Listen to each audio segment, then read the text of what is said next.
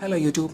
If you are using OnePlus One and you are desperate to go to about phone and system update to check for update for the CM12s but you are getting this message like no updates available but you are still on 4.4.4 and you don't want to root your phone you don't want to unlock your bootloader but you are looking for a way to install the CM12s this is for you this is the safest method you can find and this is the easiest one you don't need to flash anything. You don't need to flash any recoveries.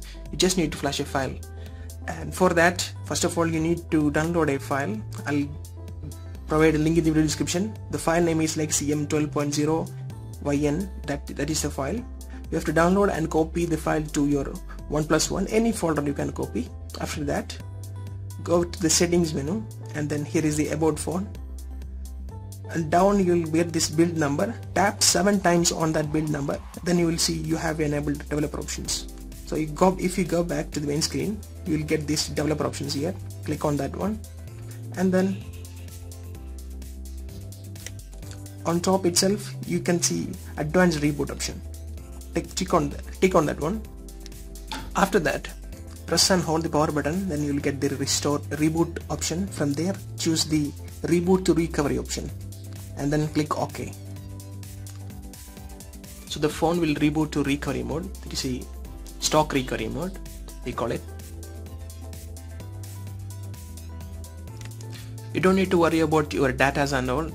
You only need to flash a you, you only need to flash a file and then wipe a cache partition. So you won't your data will be safe even after the update.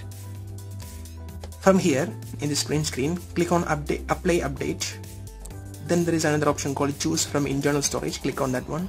And click on this zero forward slash. That means the internal storage. Here you can find all the files. And look for the file. If you stored your file inside any folder you can select that one. I stored in the main folder. So here is the file. Select the cm120 file. And then it will start flashing that file. It might take some time so please be patient you can see the progress bar down below. So after the installation just do the wipe cache partition. After that you can reboot the system now. And I'm confirming again that your data will be completely safe because you are not wiping anything other than cache partition. So you can see started showing the Cyanogen boot logo. This is the CM12 boot logo and remember that the first boot will take some time so please be patient again. And once the Cyanogen CM12S is loaded you can finalize the settings using the normal method. That's it. I hope this method helps. If you have any question regarding this method you can ask in the comment section below. Thanks for watching. Please subscribe for more